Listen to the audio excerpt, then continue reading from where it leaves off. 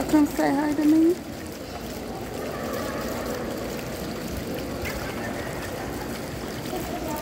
Look at this beauty.